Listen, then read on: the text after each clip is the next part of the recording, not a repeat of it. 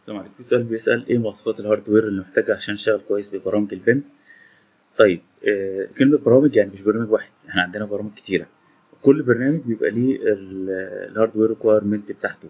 يعني لو كتبت اسم البرنامج كتبت require hardware هيطلع لك بقى قايمة كده بال ال- ال RAM ات وكارت الشاشة وال hard والحاجات دي كلها. بس مبدئيا لو أنت عايز تشتغل ما ابعد عن الأجهزة اللي هي ال personal computer اللي هي ال PC ليه ما أجيب gamer وده بيبقى سعره معقول. ال gamer معروف إن هم ناس بيحتاجوا كارت شاشة قوي وبيحتاجوا RAM ات قوية عشان الألعاب بتبقى حاجة فخمة.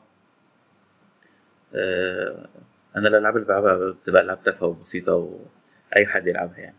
تمام؟ أي جهاز ممكن يشغل حتى لو Pentium 2 آه، أو work station جهاز ال work station ده بيبقى ضخم بس بيبقى غالي بس سعره بيبقى فيه. تمام؟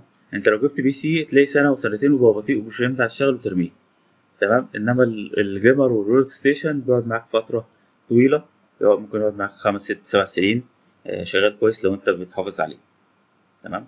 فكل جهاز بيبقى ليه مواصفات. فانت مثلا لو كل شغلك مثلا 3D Max بس يبقى ليه الحاجة. 3D Max مش برامج ال BIM بس بضرب مثال.